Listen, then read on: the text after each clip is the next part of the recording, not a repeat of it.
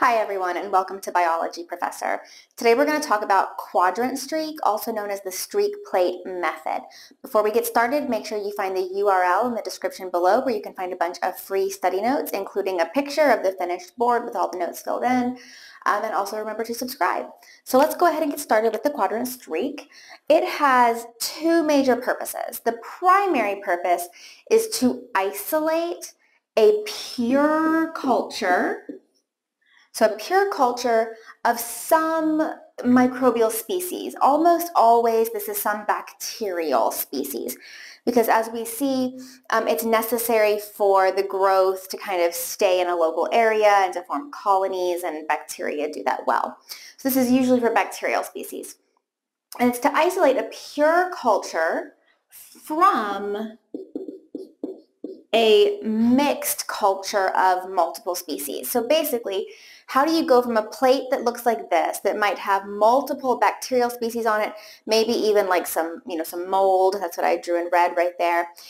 And how do you go from that to a petri plate, uh, petri plate, petri dish, that is a pure culture where everything growing on it is the same species. That's what the quadrant streak is for. The secondary purpose is really about maintaining that pure culture. So a quadrant streak is also used to maintain a species in pure culture for lab uses or for further study. In my micro class, I have students, they go out and they swab something in the environment and they get plates that look like this. And then they have to take um, individual colonies from here and make a quadrant streak to get that pure culture. And then throughout the semester, they'll continue to do what we call subculturing, meaning they're taking colonies from a plate that's kind of gotten old, where the, the growth isn't very healthy anymore, and they're moving it over. They're doing another quadrant streak to kind of revive that culture and keep it, keep it fresh, basically. So that's the sort of the secondary purpose.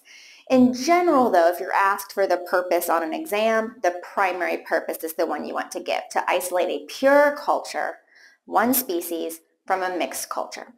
Now, ultimately, how you do this, the goal is to spread what we call the inoculum. That just means like the, the single colony that's picked up and moved over. The goal is to get all of those bacteria from that one single colony spread out. And I'll talk about how to do that in a second. But to spread the inoculum, the contents of that single colony that you're trying to grow in pure culture, over the surface of the agar, usually in four sets of streaks, one per quadrant. And this is where the method takes its name. So if you look at some of the streak patterns I've got here, I've got, uh, you know, three different ones drawn, drawn up here. All of these are good, so I've got a check mark here. Uh, different people will have different, um, sort of different patterns that they like to use. I think this is the one you see most commonly like in the textbook where you've got four sets of streaks and the goal is to, is to get bacterial growth that looks like this. Some people will use kind of a, a quadrant pattern like this. I actually like to do this one where you see I've got a fifth set of streaks, not exactly a quadrant anymore, but I'll pull a fifth set over into the center just to use like all of the available space and to increase the likelihood that I do get uh, you know, colony growth and not just lawns. So spread the inoculum over the surface of the agar, usually in four streaks, one per quadrant, to spread or thin it out to result in well-spaced colonies. And to do this with aseptic technique, that is without introducing contaminants. So again, when I do this with my students, I want to see, um, you know, actually I have a rubric that I grade their quadrant streaks on. And one of the things on the rubric is that they have to use most of the surface of the agar. Another thing on the rubric is that there need to be well-spaced colonies. You know, these right here, these up here, they're, um, they're not as accessible as the ones down here. So the goal is to get somewhere in the streets. And sometimes students, if they've taken just a very small colony, sometimes they have well-spaced colonies here and they have like hardly any growth down here at all. Others, they've got lawns, lawns, lawns, lawns, and it's maybe only in that little fifth set of streaks that they get a few, a few colonies in there. And it just depends on how large the original inoculum is and how good of a job they've done at spreading it across the plate. And then, of course, also on that rubric is about contamination. I, I want to see no contamination for a full score. So now let's kind of take a look at the procedure here. Pretend that you've got a mixed culture. Maybe it's a mixed culture because you've taken some kind of environmental sample, or maybe it's a mixed culture because you were trying to grow something in pure culture, but you've got contamination in there. Either way, you can take the colony that you care about, the species that you care about, and move it over onto another plate, perform a quadrant streak, or sometimes I just call it a quad streak, to get your pure culture. And so how do you do this? Well, the procedure is to start with a sterile loop this might be like a sterile plastic loop that you've ordered from a company, or it might be a wire loop that you sterilized in a Bunsen burner, but using a sterile loop to select one colony. I'm going to put that in here right here. One colony.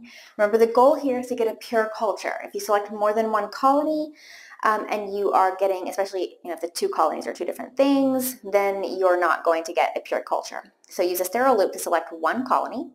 Then you make each set of streaks. Now this is the really important part.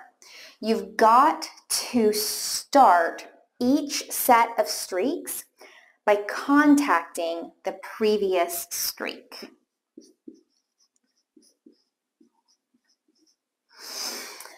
So what does this mean? Um, in order to spread things out and in order to go from lawns to sort of a lot of, of, of closely clustered dense colonies to well-spaced colonies, you've got to be spreading it out, getting kind of less and less dense with each quadrant. So pretend like this is my loop, okay? And I've sterilized it in a Bunsen burner. It glowed red hot. I wait for a moment for it to cool enough. And then I want to choose a colony to start with. And I don't want to choose, uh, you know, assuming I've got a bunch of different stuff on here, assuming it's the little bitty black colonies that I care about, I don't want to try to get that one or that one or that one because they're so close to other growth. I want to find the, the, the colony that I'm going to be able to select easiest without contaminating my loop on the other stuff on the plate. So I might actually go for like that one right there, maybe that one right there, that one right there. Just, um, they're kind of easily accessible. So you pick it up with your loop and then you make, I'm going to put a little one here, um, a one in a circle. You make your first set of streaks, just streak, streak, streak, streak, streak. Then if you're using a wire loop, you can re-sterilize it in the Bunsen burner, let it cool again. If you're using a plastic loop, you can just kind of like um, flip the loop a little bit so that you're using a slightly different surface of that loop to make the second set of streaks. But here's what I mean by, I'm going to give this kind of a double underline, by contacting. Um, I'm going to draw an arrow right here with a star. The second set of streaks starts by contacting the previous set. That's because you've sterilized the loop again. So you want to pick up um, a little bit of bacteria just from, from the first set of streaks right there and then spread it out farther. So I would contact that first uh, set of streaks one time and then maybe make a few other lines, a few other lines in that set of streaks that don't contact the original set. Resterilize the loop, come back, and then do it a third time. But again, you're wanting to, I'm going to do another star here, at some point in that initial, you know, the first thing you do in that third set of streaks, I forgot to label this one's number two, this one's number three. The first thing you do with each set of streak is to make some contact between the loop and the previous bacteria that was struck in the previous set of streaks. So pull that down for a third set, re-sterilize the loop, and then again, you know, touching the space where your loop pulled, pulled out some bacteria in the third set, you want to make the fourth set, right? And I've already said sometimes I even kind of squeeze in a fifth set just to make sure that I definitely am going to get down to well-spaced colonies. And then once you've done this, wrap it in some parafilm, stick it in an incubator. You want to incubate it at the appropriate temperature.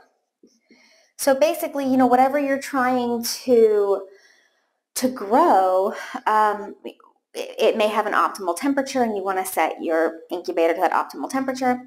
And then we always store these in the incubator upside down um, upside down. That's so that any condensation collects in the lid of the plate and doesn't like drown the, the bacterial culture. So that's how you do a quad streak. I've got a ton of playlists that I think you'll find really useful for your microbiology class. How to learn all those micro stains has videos on like the gram stain, uh, the acid fast stain, endospore stain, flagella stain, capsule stain, all that good stuff. Bacterial growth media has a bunch of videos on different kinds of media. I think like mannitol salt agar, MacConkey agar, EMB agar, all that kind of stuff. And then microbial um, sorry, microbiology diagnostic tests has lots of different diagnostic tests, things like the Kirby-Bauer test, catalase test, coagulase test, oxidase test, all those different tests you'll be learning about in your microbiology lab. So check out those playlists. Remember to subscribe for more free biology study videos. Grab that link in the description box below that will take you to uh, a folder where you can get a whole bunch of free biology study notes, including a picture of the final board. And that is it for today. Thank you for watching Biology Professor. See you next time.